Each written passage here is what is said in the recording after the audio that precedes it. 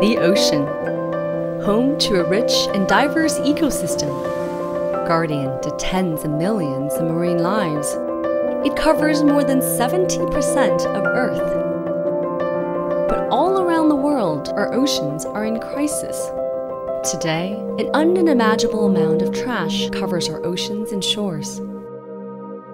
This is Taiwan, host to 10% of the world's marine species, but it's an environment under threat. 台湾的地理位置呢，其实会受到黑潮从东南亚带来的很多垃圾，那堆积在我们的沙滩上，尤其是抛弃式塑胶制品的需求的增加，所以其实他们制造的塑胶垃圾也是越来越成长。它其实就变成污染了，从环境整洁变成重大的海洋污染。当它是污染的话呢，当然清扫很重要，可是更重要的是源头的管制。就好像水龙头坏了没有关，只是大家忙着拖地而已。拖地虽然很重要，可最重要的是要有去把那个坏掉的水龙头给它修好，这就是源头简单的观念。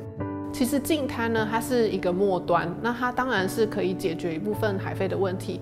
过去很多的环保团体净滩了这么多年，但是却一直没有一个人，或是也没有政府单位可以回答说，到底我们的海岸上有多少的塑胶垃圾？那这些废弃物最多的地方累积在哪里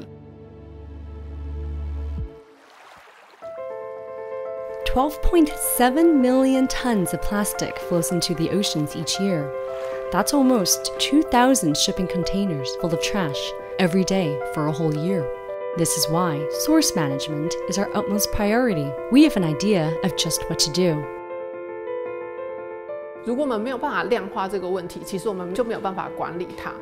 它不只是清理，还要从源头就来制定计划，说到底要怎么样来减少这些废弃物从陆地流到海洋。Thankfully, we now have the expertise to efficiently address sources of marine debris.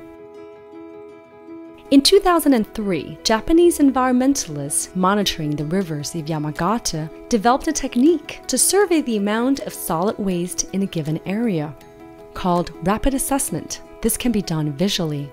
In 2006, this method was adopted by the government to determine the amount of coastal debris in all of Japan. でそのことによってどこを重点的に回収活動クリーンアップ活動をすればいいかというのが 客観的に、えー、理解できるということになったので、えー、国の対策あるいは地方政府の対策もそこをまず一番ゴミが多いところを回収しましょうということになってきました。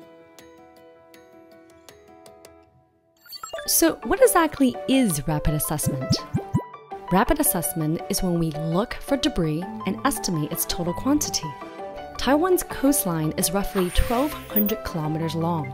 We've set up one monitoring site for every 10 kilometers. That's 121 sites around Taiwan. At each site, we mark a 100 meter line to sample. Here, we assess the amount of debris, its material type,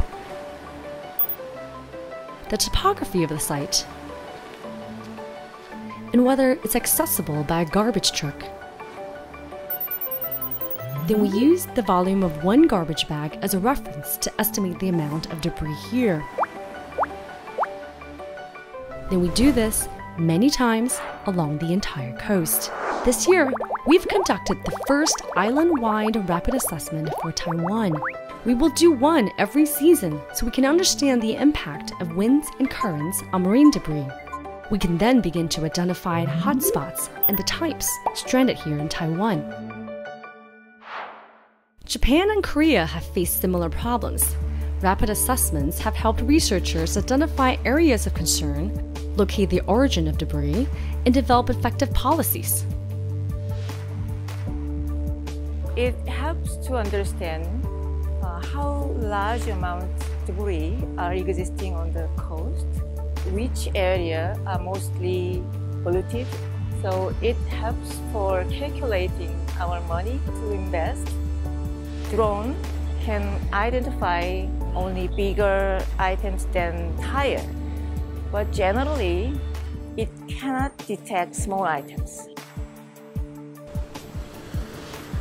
In 2018, we conducted a two week survey around Taiwan using rapid assessment. We were able to do this using fewer resources than conventional methods. We estimate there are between 10 to 15 million liters of debris trapped along our coast.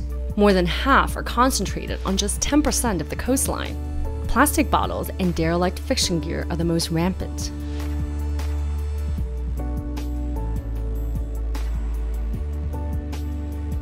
So now that we've identified where, what, and how much, we can improve recycling and removal efforts and make policy recommendations for source management. We can even prevent debris from flowing into our oceans.